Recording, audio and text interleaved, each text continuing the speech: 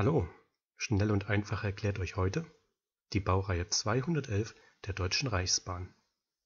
Bei der E11 oder ab 1970 als Baureihe 211 bezeichnet, handelt es sich um eine elektrische Schnellzuglok. Zwischen 1961 und 1976 wurden 95 Exemplare über drei Lieferserien verteilt in Dienst gestellt. Für die Wiederaufnahme des elektrischen Bahnbetriebs in der DDR am 1. September 1955 reichten die Vorkriegslokomotiven in absehbarer Zeit nicht mehr aus. Die Deutsche Reichsbahn bemühte sich, die Baureihe E 10 und E 40 der Deutschen Bundesbahn in Lizenz bauen zu können. Dieses Vorhaben scheiterte jedoch. So bekam LEW Ende 1956 den Auftrag zur Entwicklung zweier neuer Lokomotiven. Um Kosten zu sparen, vereinheitlichte man die Schnellzug und die Güterzuglok so gut es ging. Jedoch musste man sämtliche Ausrüstung neu konstruieren, da die Elektroindustrie in der DDR noch keine Erfahrung diesbezüglich vorzuweisen hatte. Als Vorbild für die Ausrüstung nahm man sich die nach dem Krieg zurückgebliebene Baureihe E 18. Am Ende baute man jedoch nur den Haupttransformator mit Hauptnockenschaltwerk sowie den Zusatz und den Regeltransformator nach. Die übrigen Ausrüstungen wurden neu konstruiert.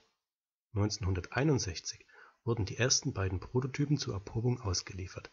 Im November 1962 begann die Auslieferung der ersten Serie der E11 über 40 Stück.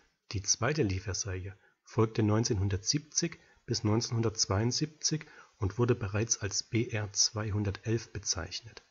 1975 bis 1976 erfolgte dann die dritte Lieferserie mit einer Stückzahl von 40 Lokomotiven.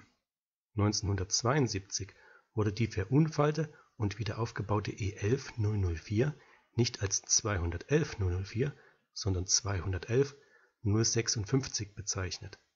Das Aussehen der BR 211 änderte sich während der gesamten Produktionszeit leicht. Am auffälligsten ist dies bei den seitlichen Lüftern zu erkennen. Die Prototypen hatten vier doppelte, waagerechte Lüftergitter, bei den Serienloks waren die Lüftergitter dann senkrecht. Ab der Lok 211 043 änderten sich die Lüftergitter erneut, nun waren es sechs Einzellüftergitter. Zudem entfielen nun die Schürzen unter den Pufferbohlen sowie die Sicken im Lokkasten.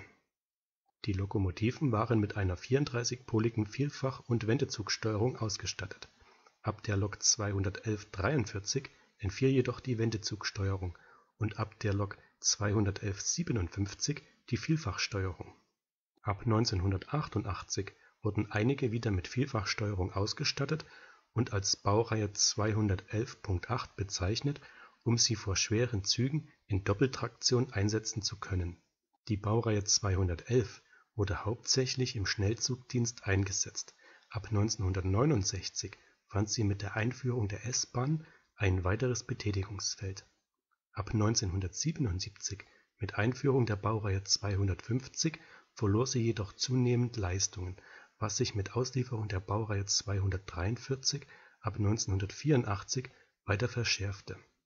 Da sich jedoch ein Mangel an Güterzuglokomotiven einstellte, baute man 1985 einige 211er in die Baureihe 242.3 um. Ab 1992 trug die BR 211 dann die Bezeichnung BR 109. Zeitgleich wurden auch immer mehr Loks dieser Baureihe abgestellt. Bis 1994 waren alle BR 109 abgestellt. Zwischenzeitlich wurden 409er wegen Lokmangel im Raum Halle-Saale wieder in Betrieb genommen, bis am 31.05.1998 alle 109er der DB endgültig abgestellt wurden. Im Jahr 2010 waren noch wenige 109er bei Privatbahnen in Deutschland im Einsatz. Den Spitznamen Holzroller erhielt sie wegen ihrer Speichenräder und den Holzlaufstegen auf dem Dach. Dies war ein weiteres Video in der Rubrik Schienenfahrzeuge. Hat es euch gefallen? Dann gebt mir einen Daumen hoch. Wollt ihr keins meiner Videos mehr verpassen? Dann abonniert diesen Kanal. Die nächsten Videos sind bereits in Arbeit. Vielen Dank fürs Zuschauen und bis zum nächsten Mal.